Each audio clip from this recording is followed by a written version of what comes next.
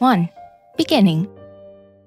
Did you know that the calculus we're all familiar with one faced the risk of collapsing? What kept it standing was the birth of real analysis.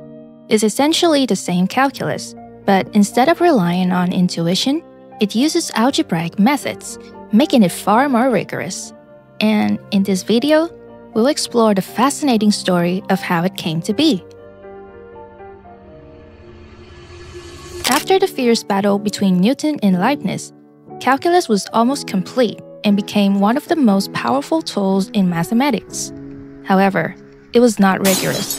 Choosing to base calculus on infinitesimal quantities also led it to the brink of collapse because these quantities were quite vague. However, scientists at that time accepted that vagueness because they still used intuition to prove formulas. Using infinitesimals in such a vague way was seen as lacking rigor and drew a lot of criticism, most notably from Michel Rolle and George Berkeley. Sir Michel Rolle was one of the first to criticize the use of infinitesimal calculations. In his memoir, De Nouveau Système de l'infini, published in 1703, he argued that calculus was built on shaky reasoning and was nothing more than a collection of clever sophistries.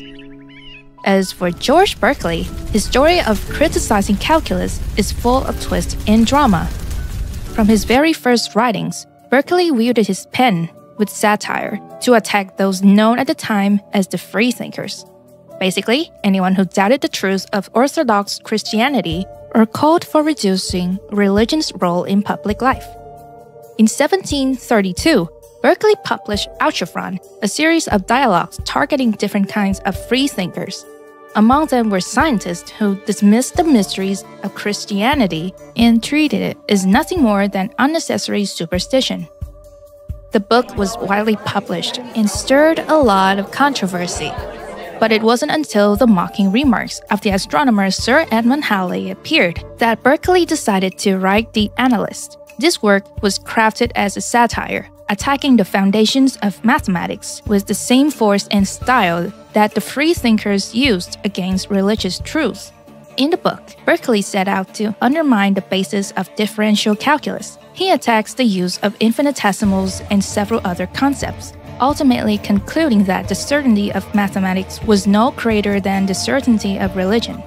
And for many years later, Berkeley's book continued to spark debate ushering in an era where people tried to rebuild the foundations of calculus in order to counter his arguments. Yet, despite these efforts, calculus kept on developing through methods that were still not fully rigorous. It wasn't until Karl Weierstrass came along that things changed. He redefined derivatives and integrals with a strict and precise definition of the concept of limits.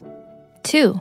Weierstrass Bernard Bolzano introduced concepts of limits that came very close to the modern definition, with the key idea that intuition should not be brought into mathematics. Unfortunately, at the time, the Austrian government did not allow Catholic priests with liberal ideas to teach, so Bolzano's three mathematical works never became widely known during his lifetime. But Bolzano's efforts were not in vain. About 50 years after his works, Another mathematician finally paid attention to them.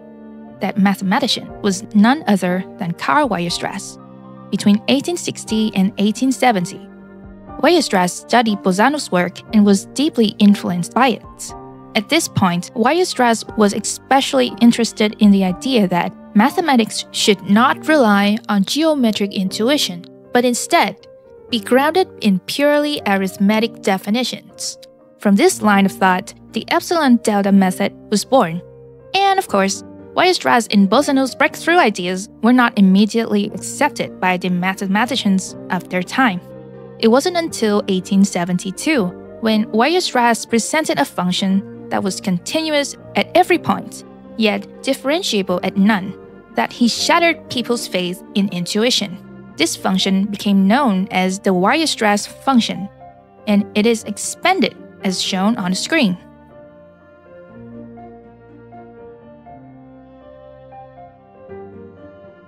Only the epsilon delta method could prove that this function is continuous, but not differentiable.